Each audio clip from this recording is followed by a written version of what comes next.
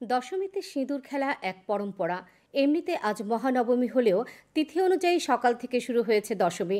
ফলে আগরতলার দুর্গাবাড়ি সহ রাজধানীর কয়েকটি পুজো মণ্ডপে দশমী যাত্রা করিয়ে মায়ের আশীর্বাদ নিতে মহিলাদের ভিড় লক্ষ্য করা গেছে।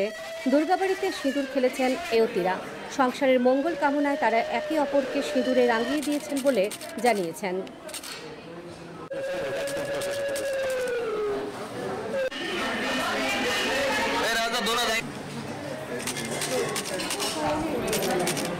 মার কাছে শীতের প্রার্থনা, আমরা যেন সবাই ভালো থাকি।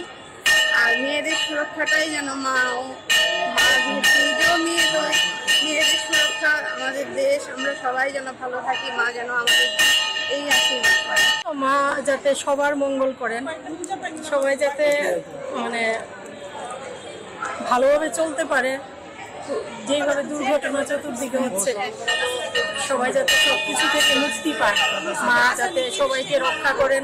সবাই ভালো করুক সংসারে ভালো করুক সব দেশ ভালো থাকুক সমাজ ভালো থাকুক ঘর ভালো থাকুক পরিবার ভালো থাকুক এটাই মার কাছে কামনা। নিজের সরকারের সাথে দেশের সবাই যাতে সুস্থভাবে থাকে কোনো অঘটন না ঘটে এই আর কি সুস্থভাবে সবাই থাকতে পারে। এটাই যাতে সবকিছু মঙ্গলভাবে হয়। সবাই সবাই যাতে যে কোনো বড় দুর্ঘটনা হোক বা কোনো বড় কিছু বিপদ আপদ সব কিছু থেকে যাতে রক্ষা পায়।